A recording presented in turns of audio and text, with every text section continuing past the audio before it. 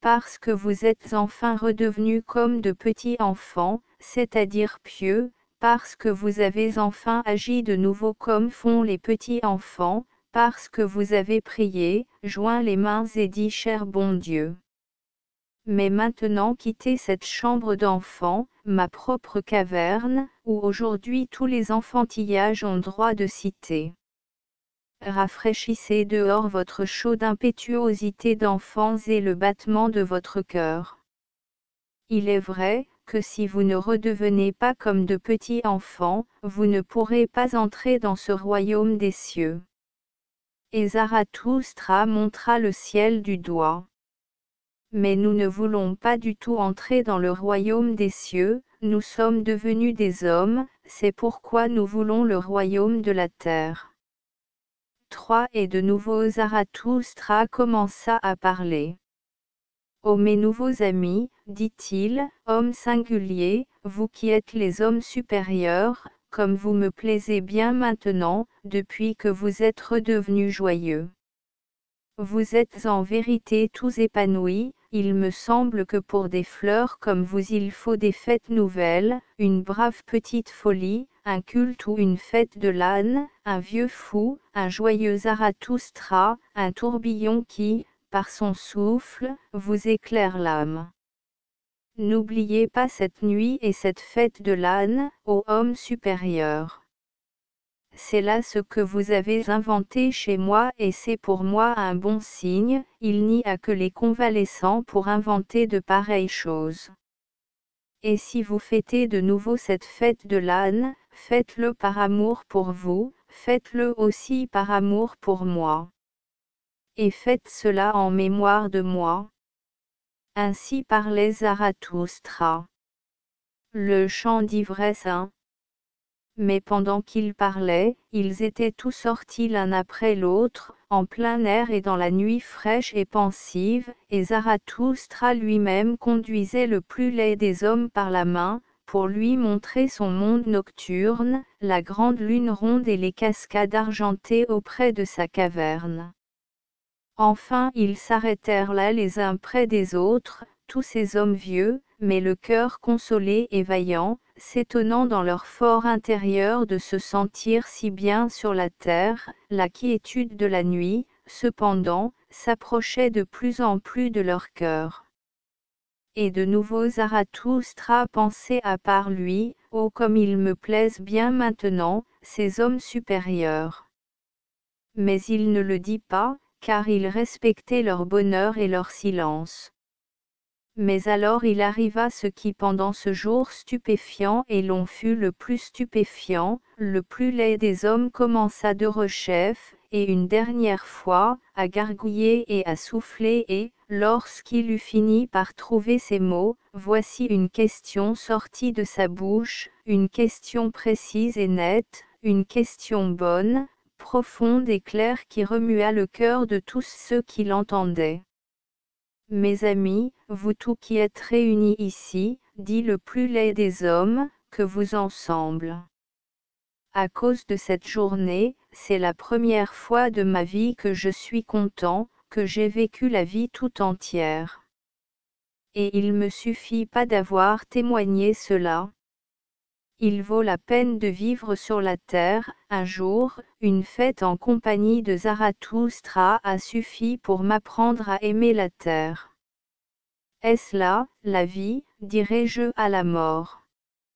Eh bien, encore une fois, mes amis, que vous ensemble.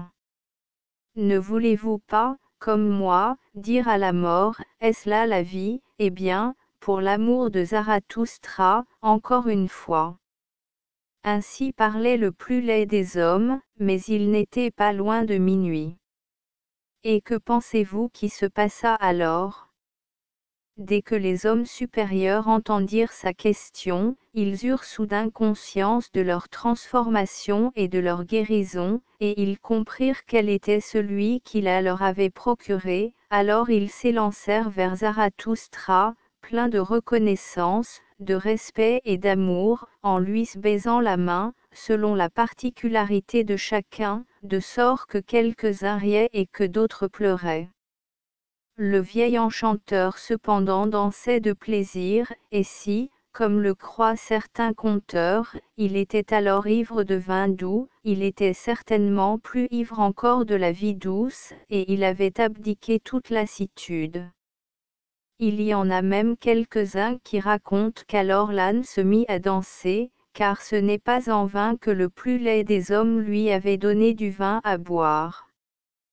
Que cela se soit passé, ainsi ou autrement, peu importe, si l'âne n'a pas vraiment dansé ce soir-là, il se passa pourtant alors des choses plus grandes et plus étranges que ne le serait la danse d'un âne. En un mot, comme dit le proverbe de Zarathustra, qu'importe. De lorsque ceci se passa avec le plus laid des hommes, Zarathustra était comme un homme ivre, son regard s'éteignait, sa langue balbutiait, ses pieds chancelaient. Et qui saurait deviner quelles étaient les pensées qui agitaient alors l'âme de Zarathustra? Mais on voyait que son esprit reculait en arrière et qu'il volait en avant, qu'il était dans le plus grand lointain, en quelque sorte sur une haute crête, comme il est écrit, entre deux mers, qui cheminent entre le passé et l'avenir, comme un lourd nuage. Peu à peu, cependant, tandis que les hommes supérieurs le tenaient dans leurs bras, il revenait un peu à lui-même, se défendant du geste de la foule de ceux qui voulaient l'honorer et qui étaient préoccupés à cause de lui, mais il ne parlait pas. Tout à coup, pourtant, il tourna la tête, car il semblait entendre quelque chose, alors il mit son doigt sur la bouche et dit, Venez. Et aussitôt il se fit un silence et une quiétude autour de lui, mais de la profondeur on entendait monter lentement le son d'une cloche. Zarathustra prêtait l'oreille, ainsi que les hommes supérieurs, puis il mit une seconde fois son doigt sur la bouche et il dit de nouveau, Venez. Venez. Il est près de minuit. Et sa voix s'était transformée. Mais il ne bougeait toujours pas de place, alors il y eut un silence encore plus grand et une plus grande quiétude, et tout le monde écoutait, même l'âne et les animaux d'honneur de Zarathustra, l'aigle et le serpent, et aussi la caverne de Zarathustra et la grande lune froide et la nuit elle-même. Zarathustra, cependant, mit une troisième fois sa main sur la bouche et dit, Venez. Venez. Venez. Allons. Maintenant il est l'heure, allons dans la nuit. Trois hauts hommes supérieurs, il est près de minuit, je veux donc vous dire quelque chose à l'oreille, quelque chose que cette vieille cloche m'a dit à l'oreille, avec autant de secret, d'épouvante et de cordialité, qu'a mis à m'en parler cette vieille cloche de minuit qui a plus vécu qu'un seul homme, qui compta déjà les battements douloureux des cœurs de vos pères, hélas. Hélas. Comme elle soupire. Comme elle rit en rêve. La vieille heure de minuit, profonde, profonde. Silence. Silence. On entend bien des choses qui n'osent pas se dire de jour, mais maintenant que l'air est pur, que le bruit de vos cœurs s'est lui aussi, maintenant les choses parlent et s'entendent, maintenant elles glissent dans les âmes nocturnes dont l'éveil se prolonge, hélas. Hélas. Comme elle soupire. Comme elle rit en rêve. N'entends-tu pas comme elle te parle à toi secrètement, avec épouvante et cordialité, la vieille heure de minuit, profonde, profonde. Ô homme, prends garde. Quatre malheurs à moi. Où a passé le temps? Ne suis-je pas tombé dans des puits profonds?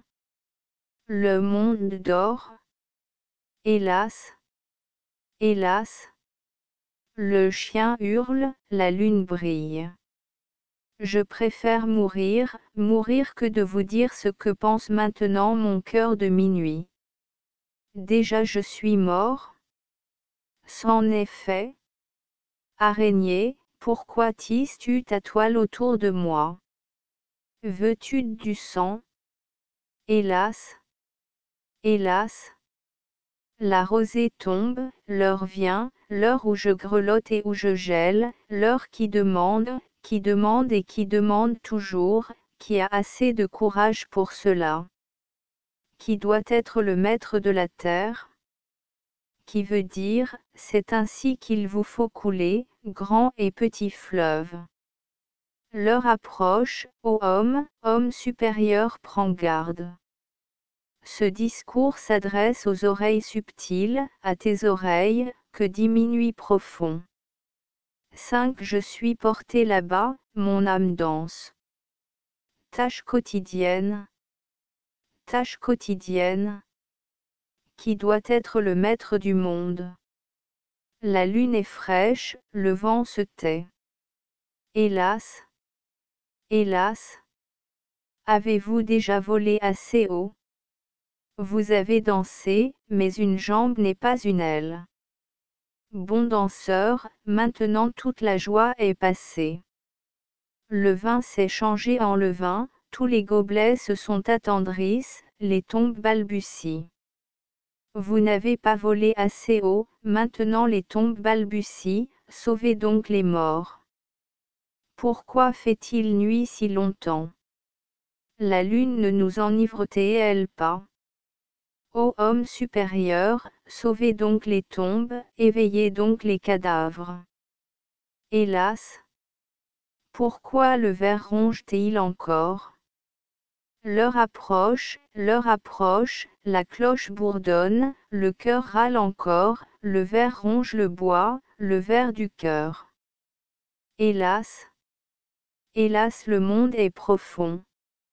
6 douce lyres douce lyre. J'aime le son de tes cordes, ce son enivré de crapauds flamboyants. Comme ce son me vient de jadis et de loin, du lointain, des étangs de l'amour. Vieille cloche. Douce lyre. Toutes les douleurs t'ont déchiré le cœur, la douleur du père, la douleur des ancêtres, la douleur des premiers parents, ton discours est devenu mûr, mûr comme l'automne doré et l'après-midi, comme mon cœur de solitaire, maintenant tu parles, le monde lui-même est devenu mûr, le raisin bruni. Maintenant il veut mourir, mourir de bonheur.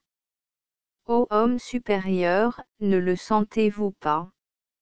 Secrètement une odeur monte, un parfum et une odeur d'éternité, une odeur de vin doré, bruni et divinement rosé de vieux bonheur, un bonheur enivré de mourir, un bonheur de minuit qui chante, le monde est profond et plus profond que ne pensait le jour. 7. Laisse-moi. Laisse-moi. Je suis trop pur pour toi. Ne me touche pas. Mon monde ne vient-il pas de s'accomplir? Ma peau est trop pure pour tes mains. Laisse-moi, jour sombre, bête et lourd.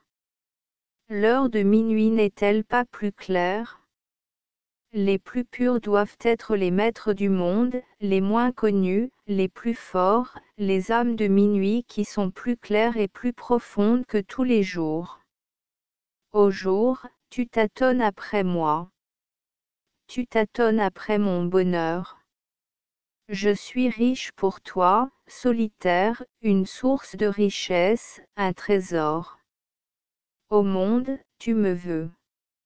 Suis-je mondain pour toi? Suis-je religieux? Suis-je devin pour toi?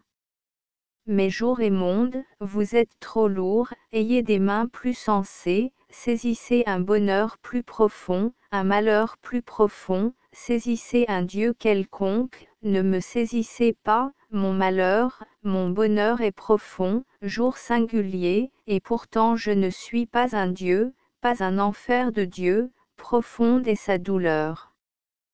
8. La douleur de Dieu est plus profonde, au monde singulier. Saisis la douleur de Dieu, ne me saisis pas, moi. Que suis-je? Une douce lyre pleine d'ivresse, une lyre de minuit, une cloche crapaud que personne ne comprend, mais qui doit parler devant des sourds, ô homme supérieur. Car vous ne me comprenez pas. C'en est fait. C'en est fait. Ô jeunesse. Au midi. Au après-midi. Maintenant le soir est venu et la nuit est l'heure de minuit, le chien hurle, et le vent, le vent n'est-il pas un chien? Il gémit, il aboie, il hurle. Hélas Hélas Comme elle soupire, comme elle rit, comme elle râle et geint, l'heure de minuit. Comme elle parle sèchement, cette poétesse ivre. A-t-elle dépassé son ivresse? A-t-elle prolongé sa veille, se met-elle à remâcher? Elle remâche sa douleur en rêve, la vieille et profonde heure de minuit, et plus encore sa joie. Car la joie, quand déjà la douleur est profonde, la joie est plus profonde que la peine. Neuf vignes, que me joues-tu Ne t'ai-je pas coupé? Je suis si cruel, tu saignes, que veut la louange que tu adresses à ma cruauté ivre? Tout ce qui s'est accompli, tout ce qui est mûr, veut mourir, ainsi parles-tu. Béni soit, béni soit le couteau du vigneron. Mais tout ce qui n'est pas mûr veut vivre, hélas. La douleur dit, passe. Va-t'en douleur. Mais tout ce qui souffre veut vivre, pour mûrir, pour devenir joyeux et plein de désirs, plein de désirs de ce qui est plus lointain, plus haut, plus clair. Je veux des héritiers, ainsi parle tout ce qui souffre, je veux des enfants, je ne me veux pas moi. Mais la joie ne veut ni héritier ni enfant, la joie se veut elle-même, elle veut l'éternité, le retour des choses, tout ce qui se ressemble éternellement. La douleur dit, brise-toi, saigne, cœur. Alle les jambes.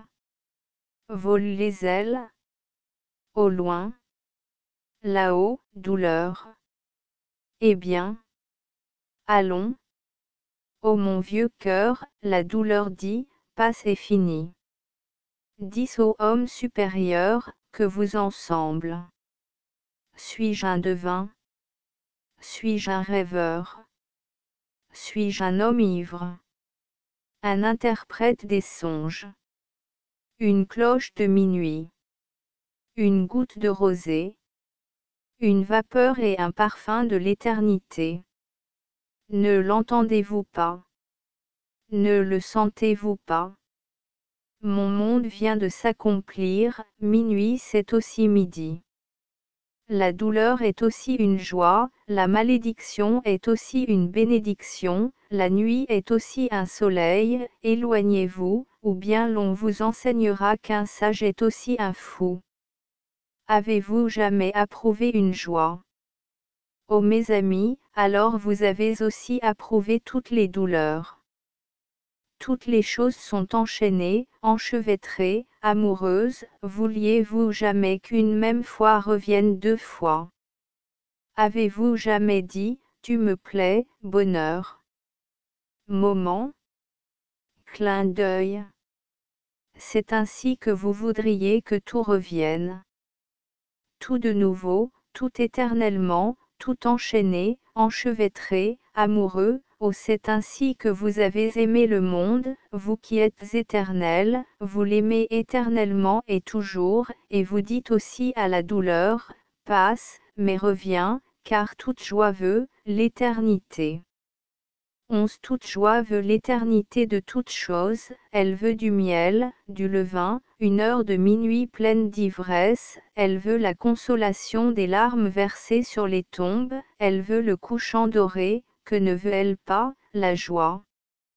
Elle est plus assoiffée, plus cordiale, plus affamée, plus épouvantable, plus secrète que toute douleur, elle se veut elle-même, elle se mord elle-même, la volonté de l'anneau lutte en elle, elle veut de l'amour, elle veut de la haine, elle est dans l'abondance, elle donne, elle jette loin d'elle, elle mendie pour que quelqu'un veuille la prendre, elle remercie celui qui la prend. Elle aimerait être haïe, la joie est tellement riche qu'elle a soif de douleur, d'enfer, de haine, de honte, de ce qui est estropié, soif du monde, car ce monde, ô vous le connaissez.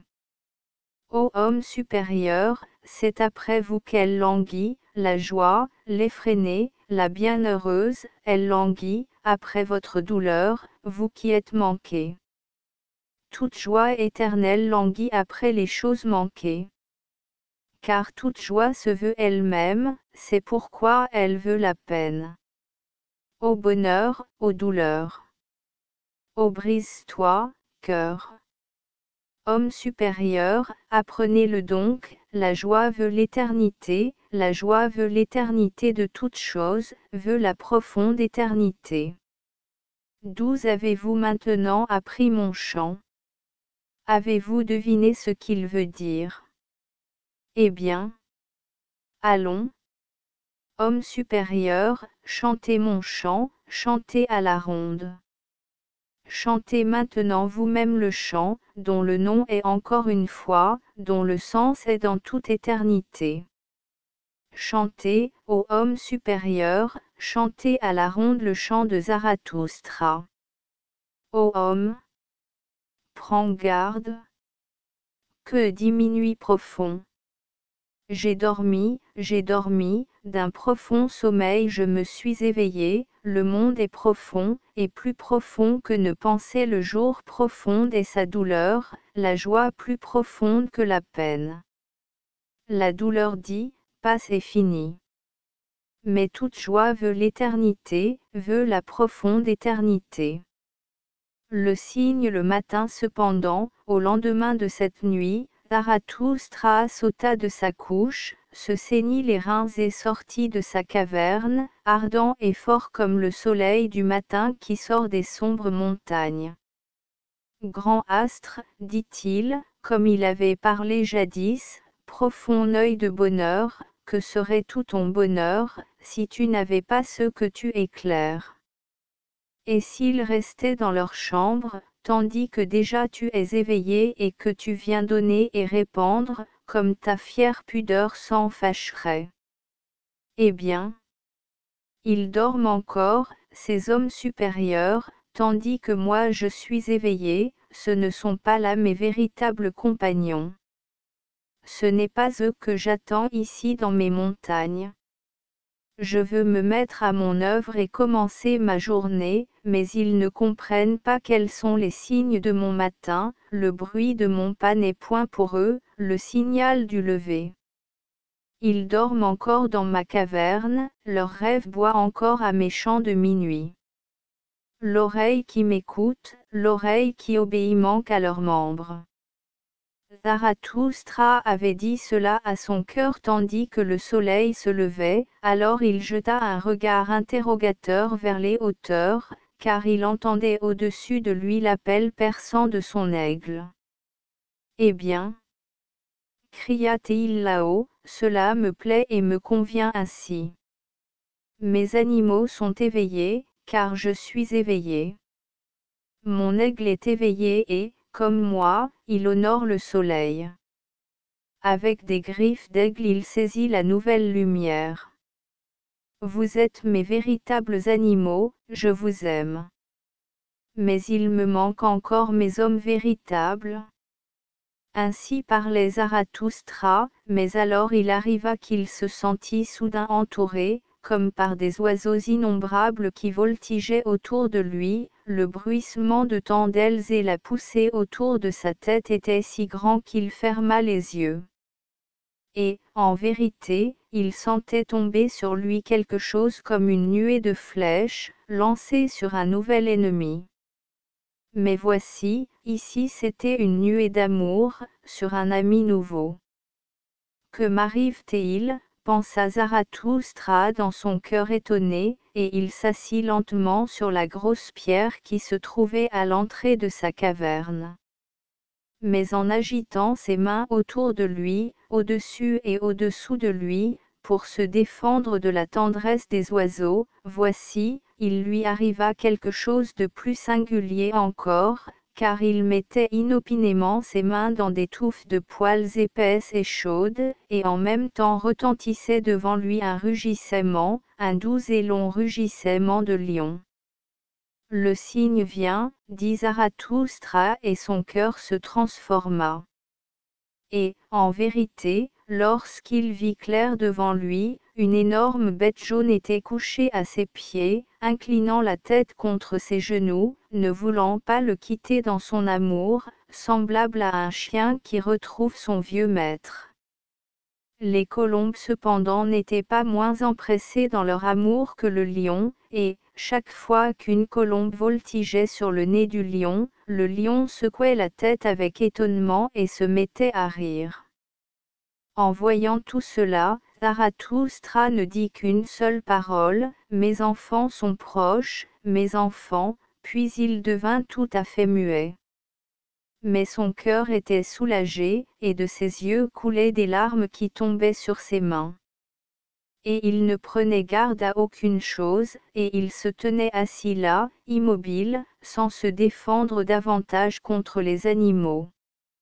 Alors les colombes voletèrent ça et là, se placèrent sur son épaule, en caressant ses cheveux blancs, et elles ne se fatiguèrent point dans leur tendresse et dans leur félicité. Le vigoureux lion, cependant, léchait sans cesse les larmes qui tombaient sur les mains de Zarathustra en rugissant et en grondant timidement. Voilà ce que firent ces animaux. Tout cela dura longtemps ou bien très peu de temps, car véritablement il n'y a pas de temps sur la terre pour de pareilles choses. Mais dans l'intervalle les hommes supérieurs s'étaient réveillés dans la caverne de Zarathustra, et ils se préparaient ensemble à aller en cortège au-devant de Zarathustra, afin de lui présenter leur salutation matinale, car en se réveillant ils avaient remarqué qu'il n'était déjà plus parmi eux. Mais lorsqu'ils furent arrivés à la porte de la caverne, précédés par le bruit de leurs pas, le lion dressa les oreilles vivement et, se détournant tout à coup de Zarathustra, sauta vers la caverne, avec des hurlements furieux, les hommes supérieurs cependant, en l'entendant hurler, se mirent tous à crier d'une seule voix et, fuyant en arrière, ils disparurent en un clin d'œil. Mais Zarathustra lui-même, abasourdi et distrait, se leva de son siège, regarda autour de lui, se tenant debout, étonné, il interrogea son cœur, réfléchit et demeura seul. Qu'est-ce que j'ai entendu? dit-il enfin, lentement, que vient-il de m'arriver? Et déjà le souvenir lui revenait et il comprit d'un coup d'œil tout ce qui s'était passé entre hier et aujourd'hui, Voici la pierre, dit-il en se caressant la barbe, c'est là que j'étais assis hier matin, et c'est là que le devin s'est approché de moi, c'est là que j'entendis pour la première fois le cri que je viens d'entendre, c'est votre détresse que me prédisait hier matin ce vieux devin, c'est vers votre détresse qu'il voulut me conduire pour me tenter, aux Zarathustra, m'a-t-il dit, je viens pour t'induire à ton dernier péché. À mon dernier péché, s'écria Zarathustra en riant avec colère de sa propre parole, qu'est-ce qui m'a été réservé comme mon dernier péché? Et encore une fois Zarathustra se replia sur lui-même, en s'asseyant de nouveau sur la grosse pierre pour réfléchir. Soudain il se redressa, pitié. La pitié pour l'homme supérieur s'écria Théil et son visage devint de bronze. Eh bien, cela a eu son temps. Ma passion et ma compassion qu'importe d'elle. Est-ce que je recherche le bonheur? Je recherche mon œuvre. Eh bien, le lion est venu, mes enfants sont proches, Zarathustra a mûri, mon heure est venue, voici mon aube matinale, ma journée commence, lève-toi donc, lève-toi, au grand midi. Ainsi parlait Zarathustra et il quitta sa caverne, ardent et fort comme le soleil du matin qui surgit des sombres montagnes. Appendice Les fragments qui suivent sont empruntés aux œuvres posthumes de Frédéric Nietzsche et peuvent aider à la compréhension d'Ainsi parlait Zarathustra. Le philosophe lui-même semble avoir eu l'intention d'écrire un jour un glossaire à cet ouvrage, mais il ne parvint jamais à mettre son projet à exécution. Plusieurs notes tracées sur ses carnets, au hasard de l'inspiration, sont de simples résumés ou des aides-mémoires, par quoi il entendait fixer le sens de tel ou tel chapitre.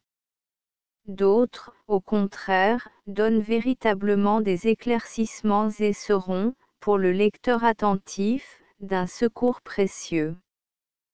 Tel qu'ils se présentent ici et malgré leur caractère inachevé, ces 82 aphorismes permettront en tous les cas de jeter un coup d'œil dans le laboratoire intellectuel de Nietzsche.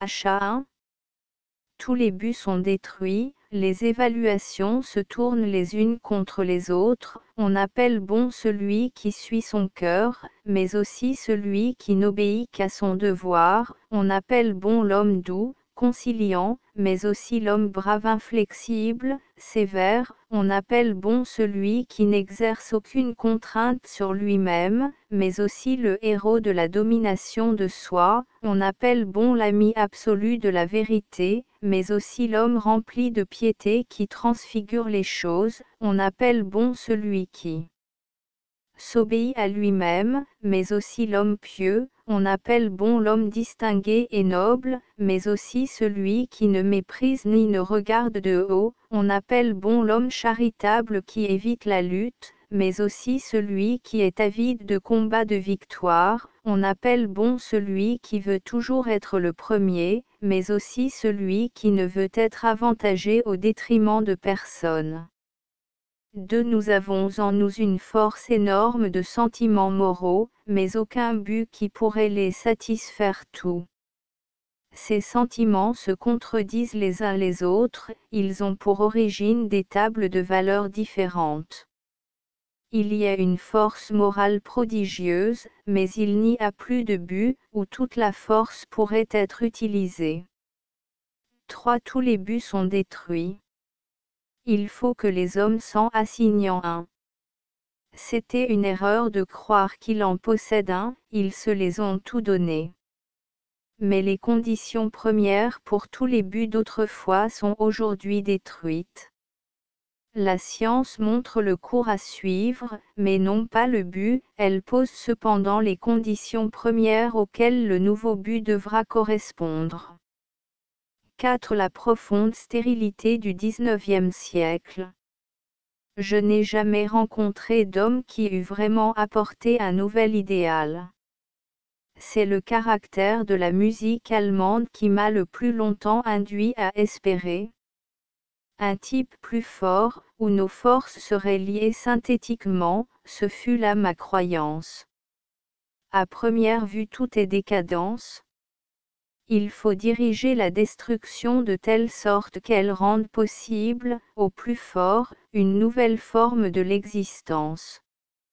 5. La dissolution de la morale conduit, dans ses conséquences pratiques, à l'individu atomique et aussi à la division de l'individu en multiplicité, fluctuation absolue. C'est pourquoi, plus que jamais, un but est nécessaire et un amour, un nouvel amour.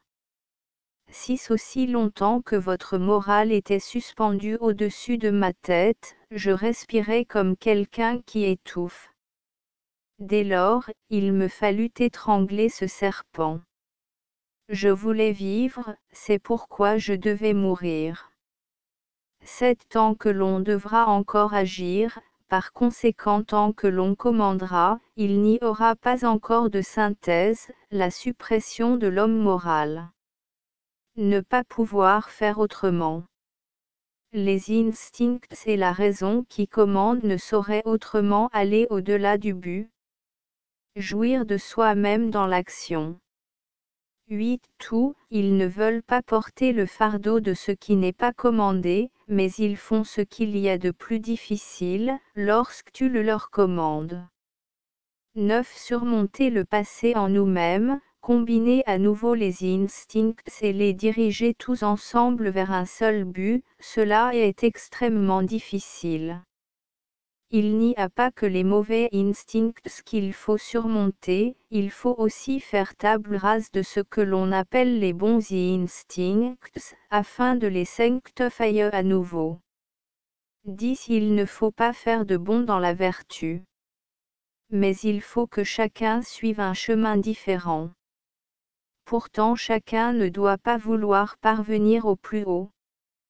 Par contre, chacun peut servir de pont et d'enseignement pour les autres.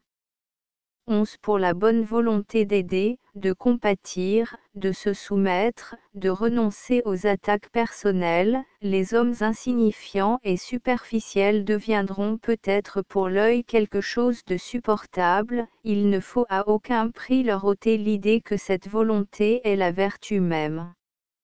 12 L'homme rend précieuse une action, mais comment une action rendrait-elle précieux un homme? 13 La morale est affaire de ceux qui ne peuvent se libérer d'elle, c'est pourquoi elle fait partie pour cela des conditions d'existence. On ne peut pas réfuter des conditions d'existence, on peut seulement, ne pas les posséder. 14 S'il était vrai que la vie ne vaut pas d'être affirmée, l'homme moral abuserait de son prochain, précisément par son oubli de soi et par ses vertus corrubles, et cela à son bénéfice personnel. 15 Aime ton prochain, cela veut dire avant tout, ne t'occupe pas de ton prochain.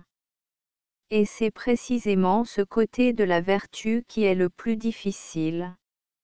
16 L'homme mauvais considéré comme un parasite, dans la vie nous ne devons pas seulement être des jouisseurs, cela manque de noblesse. 17 C'est le sentiment noble qui nous interdit de n'être que des jouisseurs de la vie.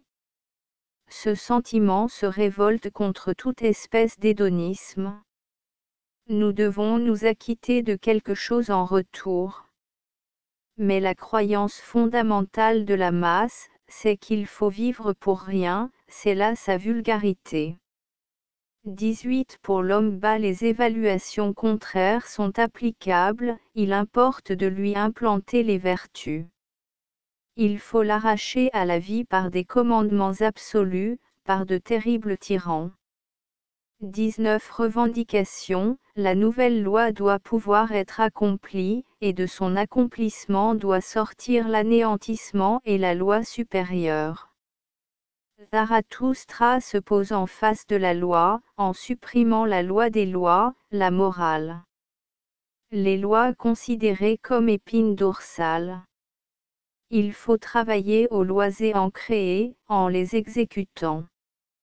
Jusqu'à présent c'était l'instinct d'esclavage qui faisait obéir aux lois vint la victoire sur soi-même chez Zarathustra doit servir d'exemple à la victoire sur soi-même dans l'humanité, en faveur du surhumain.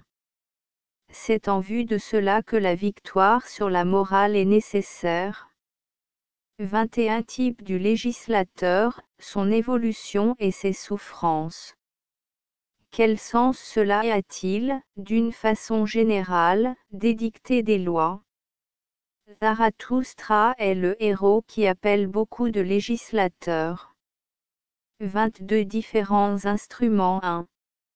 Ceux qui commandent, les puissants qui n'aiment pas, si ce n'est les images d'après lesquelles ils créent. Les êtres abondants, multiples, absolus, qui surmontent ce qui existe de ceux qui sont obéissants, les libérés, l'amour et la vénération sont leur bonheur, ils ont le sens de ce qui est supérieur. Suppression de ce qu'ils ont d'imparfait par la contemplation. 3 points Les esclaves, l'espèce servent, il faut leur créer du bien-être, la compassion des uns pour les autres. 23 Celui qui donne, celui qui crée, celui qui enseigne, voilà les précurseurs de celui qui domine. 24 Toute vertu, toute victoire sur soi-même n'ont de sens que comme préparation de ce qui domine. 25 Tout sacrifice que fait le dominateur sera compté au centuple. 26 Quand le chef d'armée, le prince, celui qui est responsable devant lui-même, fait un sacrifice, il faut le vénérer hautement. 27 La tâche prodigieuse du dominateur qui s'éduque lui-même, l'espèce d'homme et de peuple qu'il veut dominer doit trouver en lui son image, c'est là qu'il doit être devenu le maître. 28 Le grand éducateur est comme la nature, il doit accumuler des obstacles pour que ces obstacles soient surmontés. 29 Les nouveaux maîtres sont le premier degré du suprême imagier, ils impriment leur type. 30 Les institutions sont les effets des grands individus et servent de moyens pour incruster et enraciner les grands individus, jusqu'à ce qu'ils portent enfin des fruits. 31 De fait, les hommes essaient toujours de pouvoir se passer des grands individus, par des corporations, etc mais ils dépendent d'une façon absolue de ces modèles. 32 L'idéal démonique et social ramène les hommes en arrière, il crée peut-être une espèce ouvrière très utile, il invente l'esclave idéal de l'avenir, la caste inférieure qui est indispensable. 33 Droits égaux pour tous, c'est la plus merveilleuse injustice, car ce sont les hommes supérieurs qui pâtissent de ce régime. 34 Il ne s'agit pas du tout d'un droit du plus fort, car les plus forts et les plus faibles sont tous égaux en ceci, ils étendent leur puissance autant qu'ils le peuvent. 35 Nouvelle taxation de l'homme, en première ligne les questions, combien de puissance y a-t-il en lui? Combien de multiplicité d'instincts? Combien de facultés communicantes et réceptives? Le dominateur comme type supérieur. 36 Zarathustra est heureux que la lutte des castes soit terminée, et que le temps vienne maintenant enfin de la hiérarchie des individus. La haine du système de nivellement démocratique est seulement au premier plan, en somme, il faut se féliciter que l'on en soit enfin arrivé là. Maintenant il peut résoudre sa tâche. Ces enseignements n'ont été adressés jusqu'à présent qu'à la caste dominante de l'avenir. Ces maîtres de la terre doivent maintenant remplacer Dieu et se créer la confiance profonde et absolue de ceux qui sont dominés. En premier lieu, leur nouvelle sainteté, leur renoncement au bonheur et aux aises ils offrent aux inférieurs l'expectative du bonheur et, non pas à eux-mêmes. Ils sauvent ceux qui sont malvenus par la doctrine de la mort rapide, ils offrent des religions et des systèmes selon la place dans la hiérarchie. 37 Le conflit du dominateur c'est l'amour du plus lointain dans son amour pour le prochain. Être créateur et être bon, ce ne sont pas là des antinomies, mais c'est une seule et même chose, mais avec des perspectives lointaines ou prochaines. 38 Le sentiment de la puissance. Rivalité de tous les mois pour trouver l'idée qui demeure au-dessus de l'humanité, comme son étoile. Le moi est un primum mobile. 39 Lutte pour l'utilisation de la puissance qui est représentée dans l'humanité. Zarathustra appelle à cette lutte. 40 Mener à bien notre idéal, lutter pour la puissance à la façon dont cette lutte découle de l'idéal. 41 La doctrine du retour est le point solsticial de l'histoire. 42 Soudain s'ouvre le domaine épouvantable de la vérité. il y a une sauvegarde inconsciente, une précaution, une dissimulation, une garantie contre la connaissance la plus difficile, c'est ainsi que j'ai vécu jusqu'à présent. Je me suis caché quelque chose mais l'effort continuel pour enlever des pierres a donné la toute-puissance à mon instinct. Maintenant j'enlève la dernière pierre. La terrible vérité se dresse devant moi. Conjuration de la vérité du fond de la tombe, nous avons créé la vérité, nous l'avons éveillée, suprême manifestation du courage et du sentiment de la puissance dédain de tout le pessimisme, tel qu'il a existé jusqu'à présent. Nous luttons avec la vérité, nous découvrons que le seul moyen de la supporter, c'est précisément de créer un être qui la supporte, à moins que nous ne préférions de nouveau nous éblouir volontairement et nous rendre aveugles devant elle. Mais, cela, nous ne le pouvons plus. Nous avons créé la pensée la plus difficile, créons maintenant l'être qui la trouve légère et qu'elle rende bien heureux. Pour pouvoir créer il faut que nous nous donnions à nous-mêmes une plus grande liberté, une liberté plus grande que celle qui fut jamais accordée, en vue de cela, délivrance de la morale et allègrement par des fêtes. Pressentiment de l'avenir, célébrer l'avenir et non pas le passé. Écrire poétiquement le mythe de l'avenir. Vivre dans l'espérance. Moment bien heureux. Et ensuite, laisser de nouveau tomber le rideau et diriger les pensées vers des buts prochains et déterminés. 43 L'humanité doit situer son but au-delà d'elle-même, non pas dans un monde erreur, mais dans la propre continuation d'elle-même. 44 Le milieu, c'est chaque fois que naît la volonté de l'avenir, alors le grand événement est à prévoir. 45 Notre nature, c'est de créer un être plus haut que nous sommes nous-mêmes. Créer au-dessus de nous c'est là l'instinct de l'action et de l'œuvre. De même que toute volonté suppose un but, de même l'homme suppose un être, qui n'est pas présent, mais qui présente le but de son existence. C'est là la liberté de toute volonté. Dans le but réside l'amour, la vénération, la vision de ce qui est parfait, le désir. 46 Ma revendication, créer des êtres qui sont élevés au-dessus de toute l'espèce homme, il faut sacrifier à ce but soi-même et le prochain. La morale qui a dominé jusqu'à présent avait ses limites dans l'espèce, toutes les morales ont été utiles en ce sens qu'elles ont donné d'abord à l'espèce une stabilité absolue, dès que cette stabilité est atteinte, le but peut être placé plus haut. L'un des mouvements est inconditionné, le nivellement de l'humanité, les grandes fourmilières humaines, etc. L'autre mouvement, mon mouvement, est, au contraire, l'accentuation de tous les contrastes et de tous les abîmes, la suppression de l'égalité, la création d'êtres tout-puissants. Celui-là engendre le dernier homme, mon mouvement engendre le surhumain ce n'est nullement le but de considérer la dernière espèce comme si elle devait être la maîtresse de la première.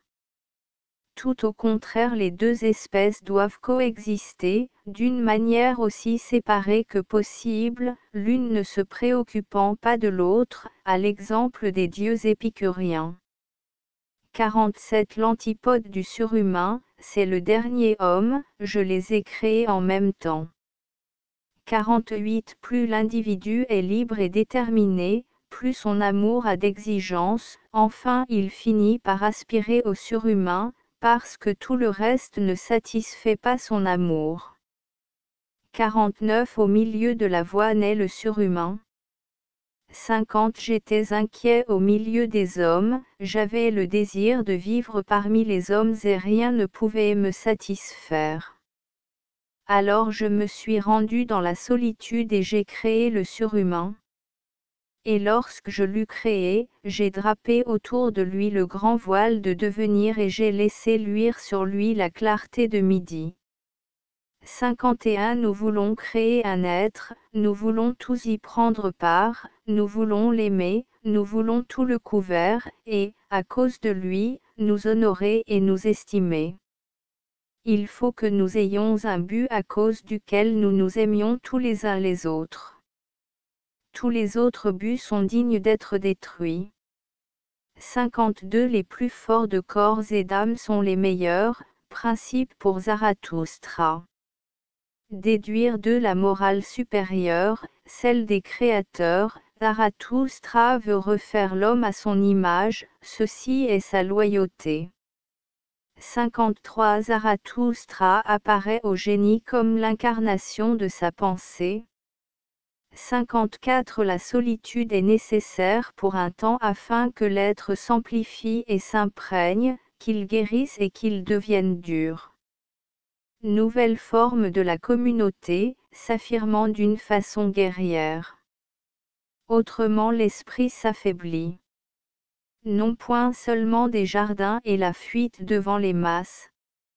La guerre, mais sans poudre, entre des idées différentes.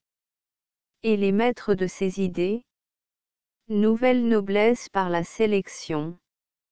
Les cérémonies pour la fondation de familles diviser autrement la journée, l'exercice physique pour tous les âges de la vie. La lutte considérée comme un principe. L'amour sexuel considéré comme la lutte pour le principe qui est dans le devenir, dans ce qui vient. Dominer est enseigner et exercer, la dureté aussi bien que la douceur. Dès que l'on a atteint la maîtrise dans une condition, il faut aspirer à une condition nouvelle. Se laisser instruire par les méchants et leur donner, à eux aussi, l'occasion de la lutte. Les dégénérés sont à utiliser. Le droit à la punition doit consister en ceci que le malfaiteur peut être utilisé comme sujet d'expérience, pour un nouveau mode de nutrition ceci sanctifie la punition que l'on peut user de quelqu'un pour le plus grand bien de ce qui doit venir. Nous ménageons notre nouvelle communauté, parce qu'elle est le pont vers notre nouvel idéal de l'avenir. C'est pour elle que nous travaillons et que nous faisons travailler les autres. 55 Trouver la mesure et le moyen pour aspirer au-delà de l'humanité, il convient de trouver l'espèce d'homme la plus haute et la plus vigoureuse. Représenter sans cesse la tendance supérieure dans les petites choses, la perfection, la maturité, la santé florissante, le doux rayonnement de la force travailler comme un artiste à l'œuvre quotidienne, mener chaque tâche jusqu'à la perfection. S'avouer la probité dans le motif comme il convient aux puissants. 56 Pas d'impatience. Le surhumain est votre prochain degré. Pour cela, pour cette limitation, il faut de la modération et de la virilité. Hausser l'homme au-dessus de lui-même, comme ont fait les Grecs, pas de fantasmes incorporels. Il convient de supprimer l'esprit supérieur lié à un caractère faible et nerveux. But, développement supérieur de tout le corps, et non pas seulement du cerveau. 57 L'homme est quelque chose qui doit être surmonté, il convient de regarder à l'allure, les Grecs sont admirables, sans hâte. Mes précurseurs, Héraclite, Empédocle, Spinoza, Goethe. 58 1. Mécontentement avec nous-mêmes. Antidote contre le repentir.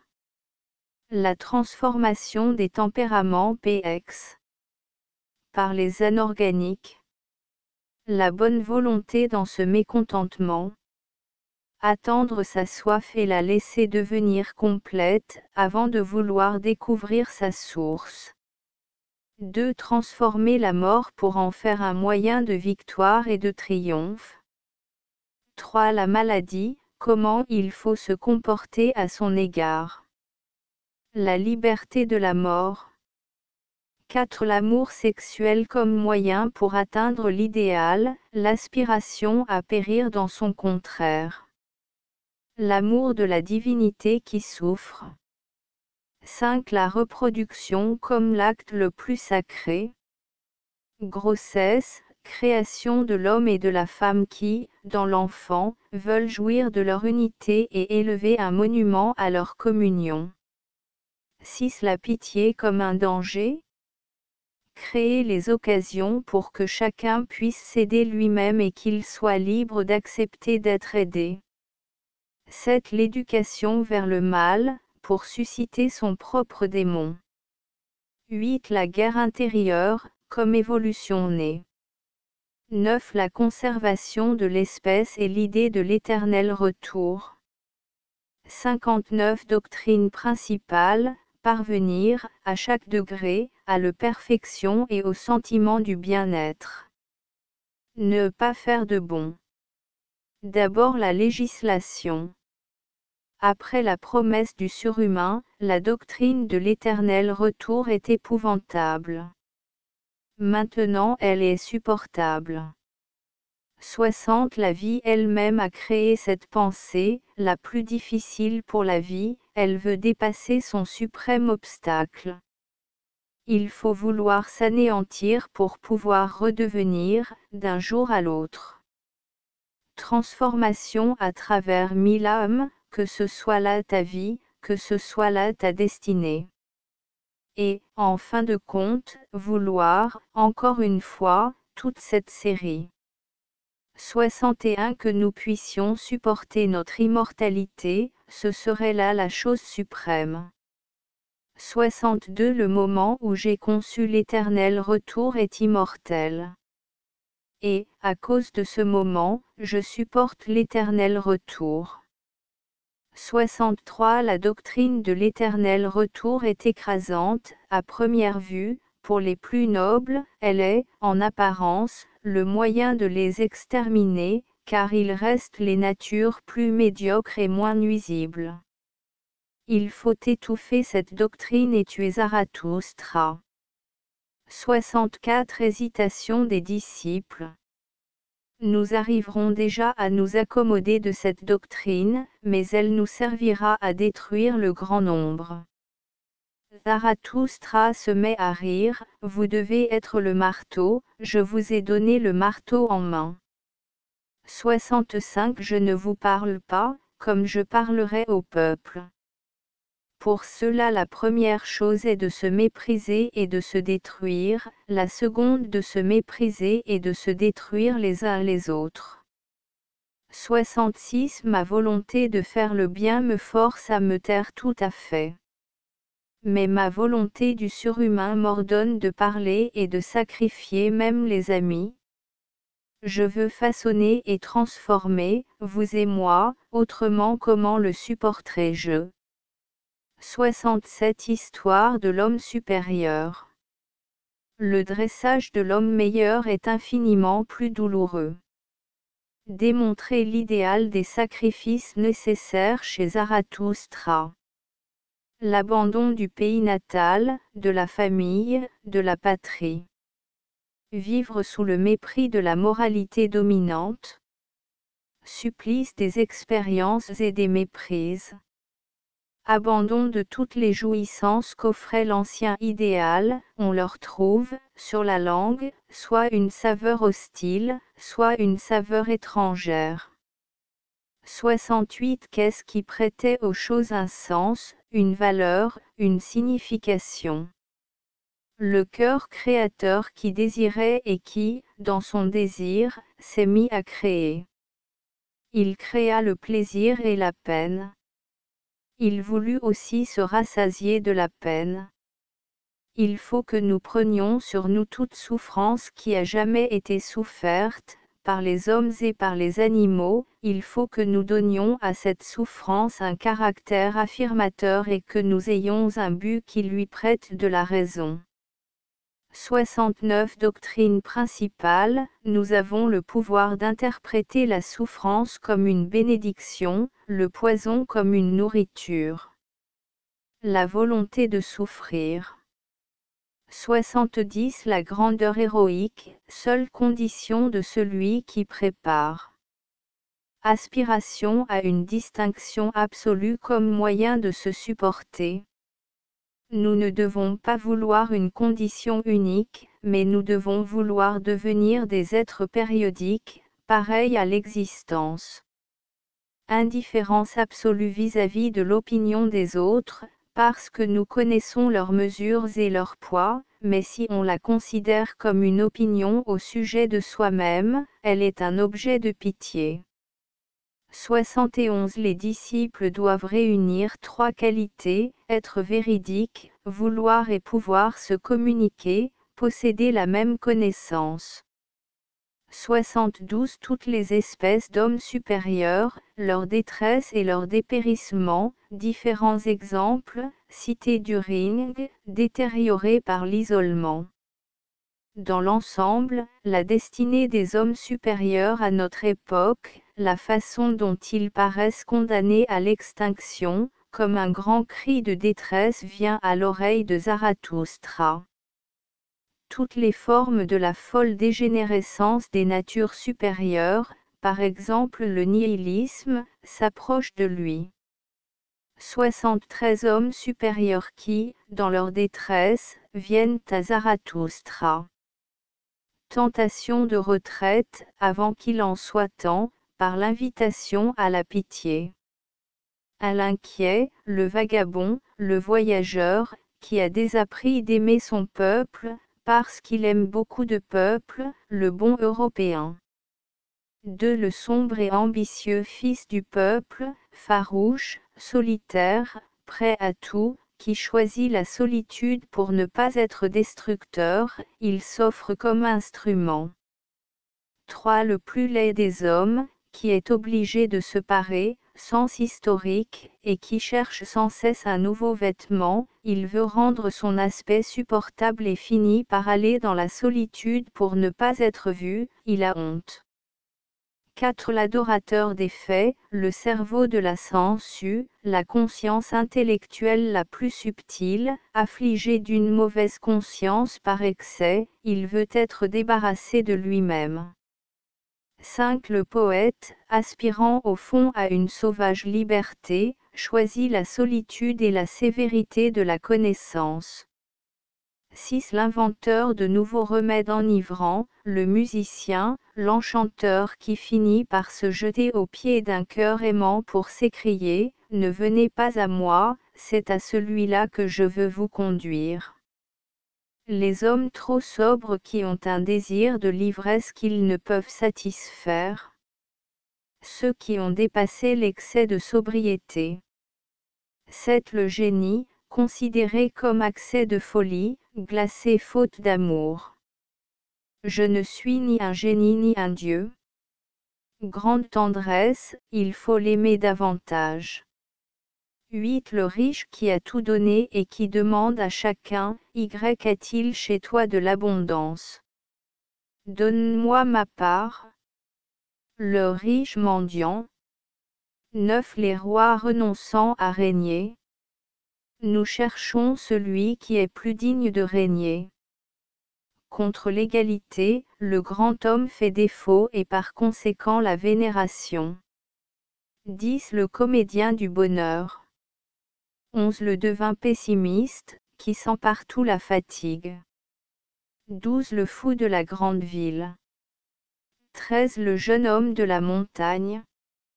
14. La femme, qui cherche l'homme. 15. L'ouvrier et l'arriviste, envieux et amaigri. 16. Les bons. Et leur folie, pour Dieu c'est-à-dire, pour moi 17.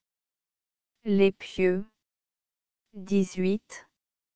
Les saints qui s'honorent eux-mêmes. 74.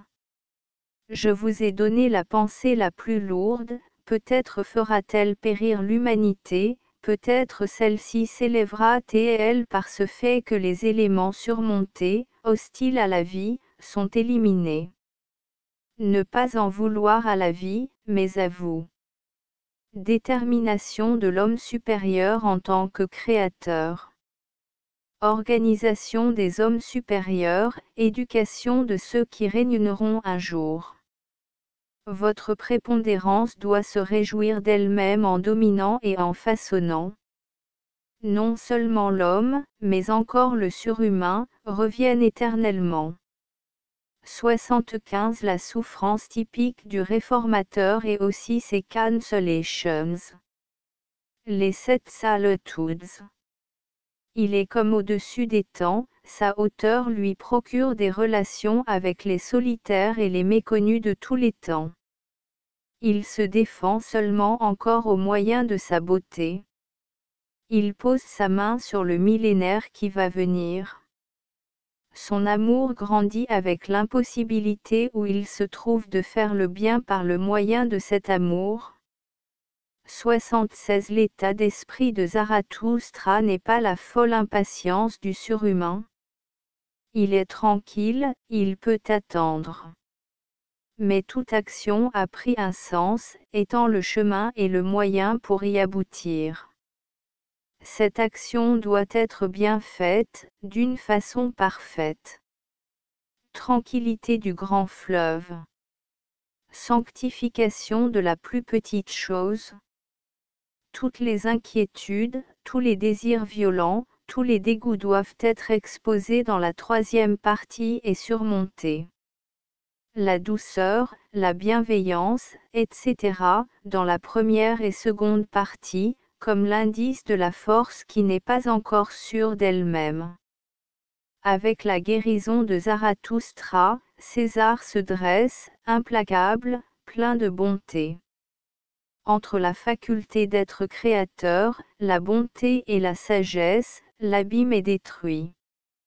La clarté, le calme, pas de désir exagéré, le bonheur dans le moment bien employé, éternisé. 77 Zarathustra 3 Moi-même, je suis heureux. Lorsqu'il a quitté les hommes, il retourne à lui-même c'est comme un nuage qui se dissipe autour de lui. Le type de la vie, tel que le surhumain doit la mener, un Dieu épicurien. Une divine souffrance, tel est le contenu du troisième Zarathustra. La condition humaine du législateur n'est amenée que comme un exemple. Son amour viol pour ses amis lui apparaît comme une maladie, il est de nouveau tranquille. Lorsque les invitations viennent, il se dérobe doucement.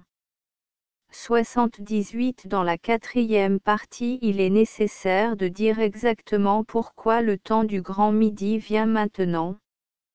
Il s'agit donc de faire une description de l'époque, conditionnée par les visites, mais interprétée par Zarathustra. Dans la quatrième partie, il est nécessaire de dire exactement pourquoi le peuple des élus devait d'abord être créé, ce sont les natures supérieures, bienvenues, en opposition avec les natures malvenues, caractérisées par les visites à celles-là seulement Zarathustra peut communiquer les derniers problèmes, à elle seulement il peut faire appel pour une activité en faveur de ces théories, elles sont assez fortes, assez bien portantes et assez dures, avant tout assez nobles, il peut donner en main le marteau qui régnera sur la terre. 79 L'harmonie du Créateur, de l'amant, du connaisseur dans la puissance. 80 L'amour seul doit être juge, l'amour qui crée, qui s'oublie lui-même dans son œuvre. 81 Zarathustra ne peut rendre heureux qu'une fois que la hiérarchie est établie. Celle-ci est enseignée en premier lieu. La hiérarchie, appliquée en un système de gouvernement de la Terre, les maîtres de la Terre, en fin de compte, une nouvelle caste dominante. De cette caste naît, de ci de là, un Dieu tout à fait épicuréen, le surhumain, le transfigurateur de l'existence. La conception surhumaine du monde. Dionyso. Revenir, avec amour, de ce grand éloignement, vers le plus petit et le plus humble, Zarathustra bénissant tous les événements de sa vie et mourant en bénissant. 82 Nous devons cesser d'être des hommes qui prient, pour devenir des hommes qui bénissent. Note l'idée de Zarathustra remonte chez Nietzsche aux premières années de son séjour à Bâle. On en retrouve des indices dans les notes datant de 1871 et 1872. Mais, pour la conception fondamentale de l'œuvre, Nietzsche lui-même indique l'époque d'une villégiature dans l'Engadine en août 1881, où lui vint, pendant une marche à travers la forêt, au bord du lac de Silvaplana, comme un premier éclair de la pensée de Zarathustra, l'idée de l'éternel retour. Il en prit note le même jour en ajoutant la remarque, au commencement du mois d'août 1881 à Silmaria, 6000 pieds au-dessus du niveau de la mer et bien plus haut encore au-dessus de toutes les choses humaines, note conservée. Depuis ce moment, cette idée se développa en lui, ses carnets de notes et ses manuscrits des années 1881 et 1882 emportent de nombreuses traces et le gai savoir qu'il rédigeait alors contient sans indice de l'approche de quelque chose d'incomparable. Le volume mentionnait même déjà, dans l'aphorisme 341, la pensée de l'éternel retour, et, à la fin de sa quatrième partie, dans l'aphorisme 342, qui, dans la première édition, terminait l'ouvrage, faisait luire, comme le dit Nietzsche lui-même, la beauté des premières paroles de Zarathustra. La première partie fut écrite dans la baie riante et silencieuse de Rapal auprès de Gênes, où Nietzsche passa les mois de janvier et février 1883. Le matin je suis monté par la superbe route de Zoagli en me dirigeant vers le sud, le long d'une forêt de pins, je voyais se dérouler devant moi la mer qui s'étendait jusqu'à l'horizon, l'après-midi je fis le tour de toute la baie depuis Santa Margherita jusque derrière Portofino. C'est sur ces deux chemins que m'est venue l'idée de toute la première partie de Zarathustra, avant tout Zarathustra lui-même, considère comme type, mieux encore, il est venu sur moi, jeu de mots sur Erfiel Mirain et Eruberfiel Mich. Nietzsche a plusieurs fois certifié n'avoir jamais mis plus de dix jours à chacune des trois premières parties de Zarathustra, il entend par là les jours où les idées, longuement mûries, s'assemblaient en un tout, ou, durant les fortes marches de la journée, dans l'état d'une inspiration incomparable et dans une violente tension de l'esprit, l'œuvre se cristallisait dans son ensemble, pour être ensuite rédigée le soir sous cette forme de premier jet.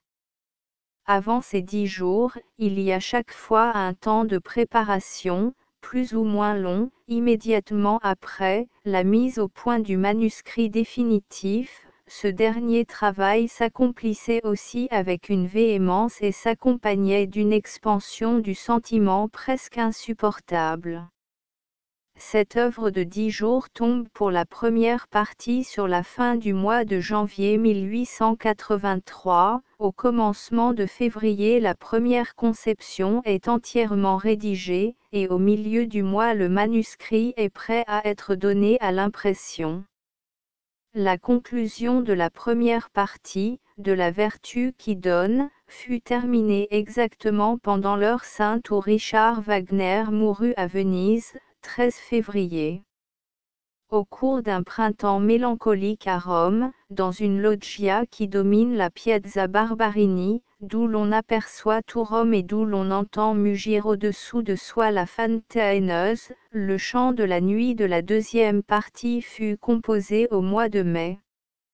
La seconde partie elle-même fut écrite, de nouveau en dix jours, à Silmaria, entre le 17 juin et le 6 juillet 1883. La première rédaction fut terminée avant le 6 juillet et le manuscrit définitif avant le milieu du même mois.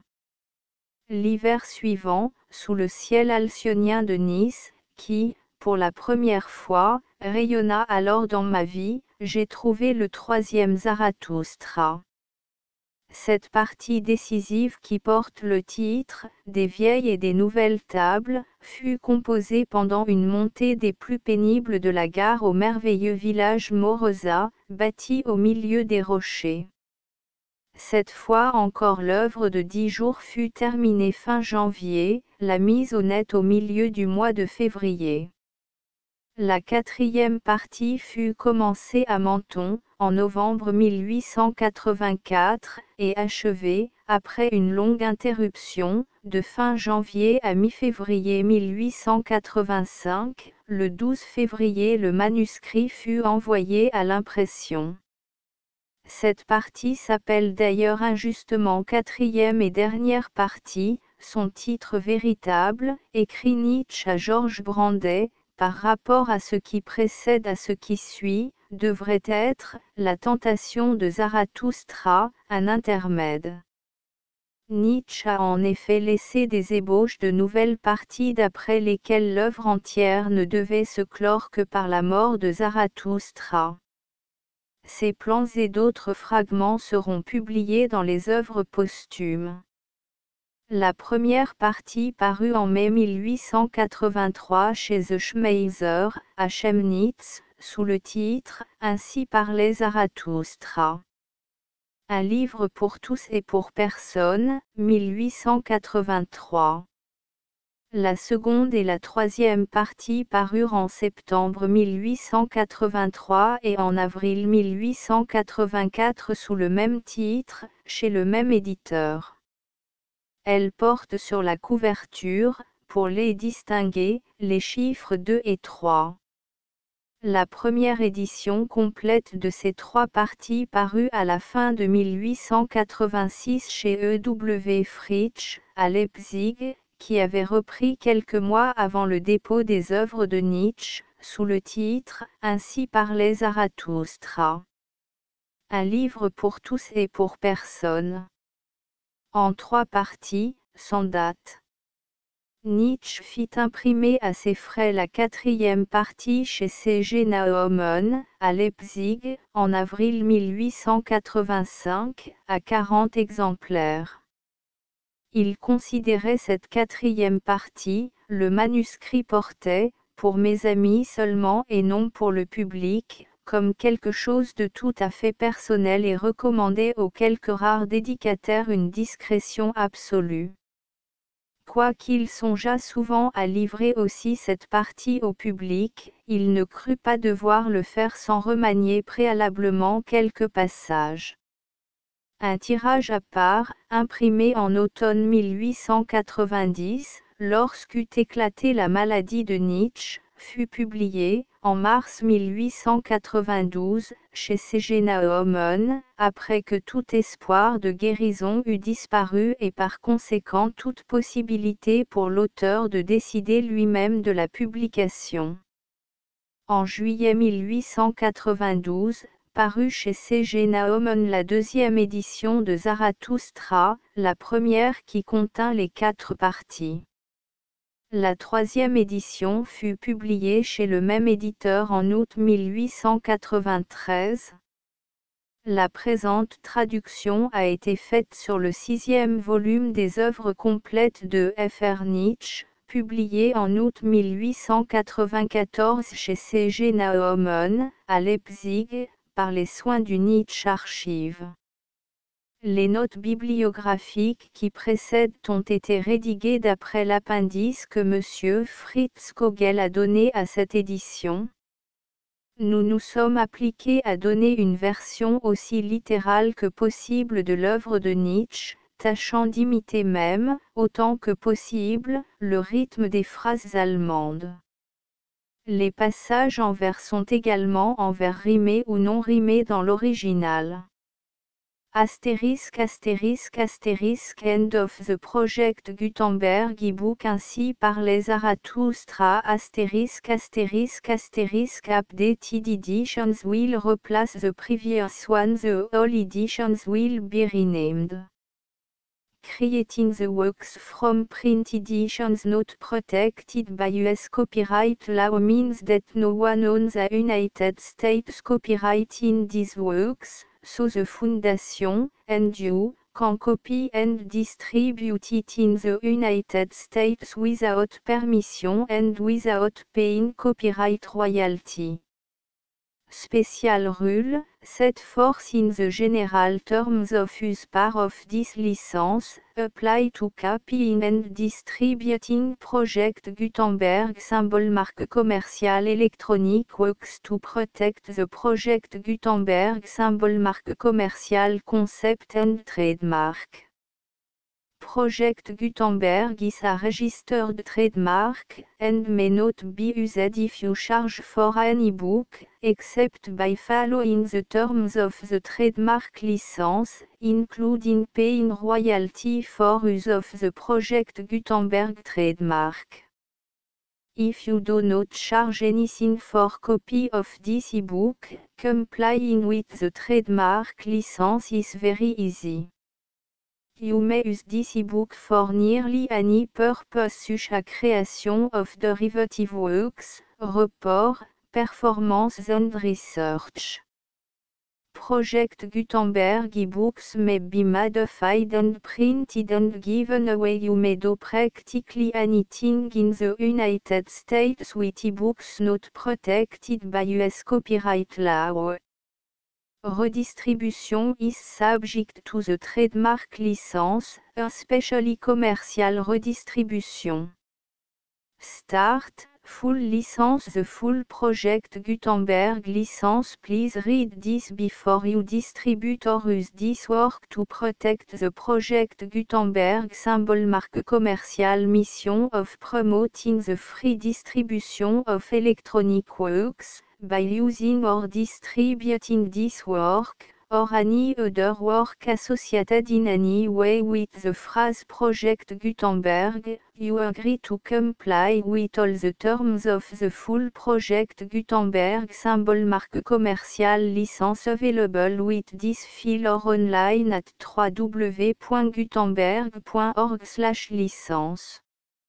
Section 1 General Terms of Use and Redistributing Project Gutenberg Symbol Mark Commercial Electronic Works 1.a by reading or using any part of this Project Gutenberg Symbol Mark Commercial Electronic Work, you indicate that you have read, understand, agree to and accept all the terms of this license and intellectual property, trademark baroblique copyright, agrément.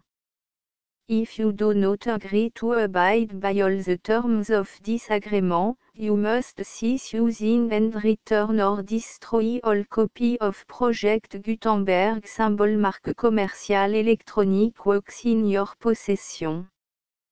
If you paid a fee for obtaining a copy of or access to a Project Gutenberg symbol mark commercial electronic work and you do not agree to be bound by the terms of this agreement, you may obtain a refund from the person or entity to whom you paid the fee as set forth in paragraph 1.e.8. 1.b Project Gutenberg is a registered trademark. It may only be used on or associated in any way with an electronic work by people who agree to be bound by the terms of this agreement. There are a few things that you can do with most Project Gutenberg symbol mark commercial electronic works even without complying with the full terms of this agreement. See paragraph 1.c below. There are a lot of things you can do with Project Gutenberg symbol mark commercial electronic works if you follow the terms of this agreement and help preserve free future access to Project Gutenberg symbol mark commercial electronic works. See paragraph 1.e below. 1.c The Project Gutenberg Literary Archive Foundation, le Foundation or PGLAF, owns a compilation copyright in the collection of Project Gutenberg symbol marque commercial Electronic Works. Nearly all the individual works in the collection are in the public domain in the United States. If an individual work is unprotected by copyright law in the United States and you are located in the United States, we do not claim a right to prevent you from copying, distributing, performing, displaying or creating derivative works based on the work alone as all references to Project Gutenberg are removed. Of course, we hope that you will support the Project Gutenberg symbol marque commercial mission of promoting free access to electronic works by freely sharing Project Gutenberg symbol marque commercial works in compliance with the terms of disagreement for keeping the Project Gutenberg symbol marque commercial name associated with the work. You can easily comply with the terms of disagreement by keeping this work in the same format with ITS attached full project Gutenberg symbol marque commercial license when you share it without charge with others. 1.d The copyright laws of the place where you are located also govern what you can do with this work. Copyright laws in most countries are in a constant state of change. If you are outside the United States, check the laws of your country in addition to the terms of disagreement before downloading, copying, displaying, performing, distributing or creating derivative works based on this work or any other project Gutenberg symbol marque commercial work. The Foundation makes no representations concerning the copyright status of any work in any country other than the United States. Un point unless you have removed all references to Project Gutenberg. Un point E. Point 1. The following sentence, with active links to, or other immediate access to, the full Project Gutenberg symbol marque commercial license must appear prominently whenever any copy of a Project Gutenberg symbol marque commercial work, any work on which the phrase Project Gutenberg appears, or with which the phrase Project Gutenberg is associated, is accessed, displayed, performed, viewed, copied or distributed. This ebook is for the use of anyone anywhere in the United States and most other parts of the world at no cost and with almost no restriction whatsoever. You may copy it, give it away or reuse it under the terms of the Project Gutenberg license included with this ebook or online at www.gutenberg.org. If you are not located in the United States, you will have to check the laws of the country where you are located before using this ebook. 1.e.2 If an individual project Gutenberg symbol mark commercial electronic work is derived from texts not protected by US copyright law, does not contain a notice indicating that it is posted with permission of the copyright holder, the work can be copied and distributed to anyone in the United States without paying any fees or charge. If you are redistributing or providing access to a work with the phrase Project Gutenberg associated with or appearing on the work, you must comply either with the requirements of paragraphs 1.e.1 through 1.e.7 or obtain permission for the use of the work and the project Gutenberg symbol marque commercial trademark asset force in paragraphs 1.e.8 or 1.e.9. 1.e.3 If an individual project Gutenberg symbol marque commercial electronic work is posted with the permission of the copyright holder, your use and distribution must comply with both paragraphs 1.e.1 through 1.e.7 and any additional terms imposed by the copyright holder. Additional terms will be linked to the project Gutenberg symbol marque commercial license for all works posted with the permission of the copyright holder found at the beginning of this work. 1.e.4 Do not unlink or detach or remove the full project Gutenberg symbol marque commercial license terms from this work or any file containing a part of this work or any other work associated with Project Gutenberg symbol marque commerciale. 1.e.5 Do not copy, display, perform, distribute or redistribute this electronic work, or any part of this electronic work, without permanently displaying the sentence set forth in paragraph 1.e.1 with active links or immediate access to the full terms of the project Gutenberg symbol marque commercial licence. 1.e.6 You may convert to and distribute this work in any binary, compressed, marked up, non-proprietary or proprietary form, including any word processing or hypertext form.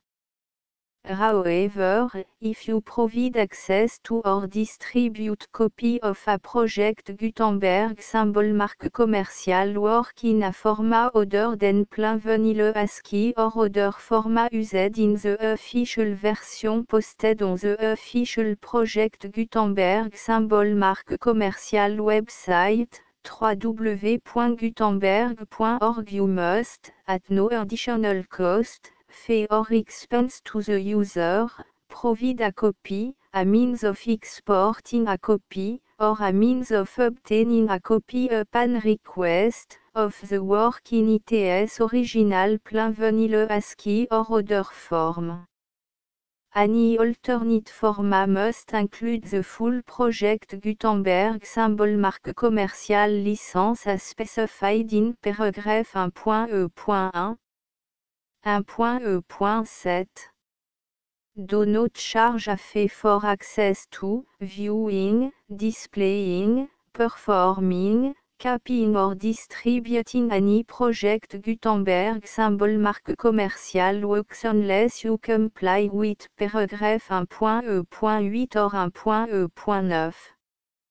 1.e.8 You may charge a reasonable fee for copy of or providing access to or distributing project Gutenberg symbol marque commercial electronic works provided that you pay a royalty fee of 20 of